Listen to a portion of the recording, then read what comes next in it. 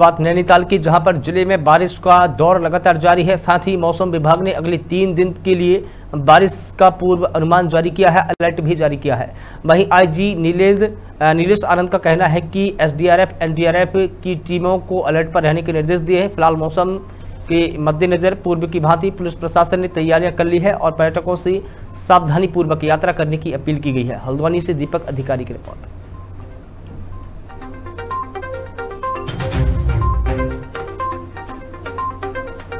मंडल में आपदा का अलर्ट, जैसे हमको पूर्वानुमान जो है, हम लोग लगातार जो है मौसम विभाग से संपर्क में है। जो भी हमारे पास रेड अलर्ट, ऑरेंज अलर्ट, जैसे भी आ रहा हम सोशल मीडिया में उसको तत्काल डाल दे रहे हैं और जो आने वाले टूरिस्ट है, उनको आगाह कर रहे हैं कि फला रास्ते जो है, अगर कोई बंद है, डाइवर्जन है या नहीं जाने दिया जाएगा तो पहले से ही हम लोग जो है ताकि उस हिसाब से लोग अपना प्लान आगे की जर्नी करते हैं, जो हमारी एसडीआरएफ की टोटल तेरह टीमें कुमाऊं मंडल में काम कर रही है।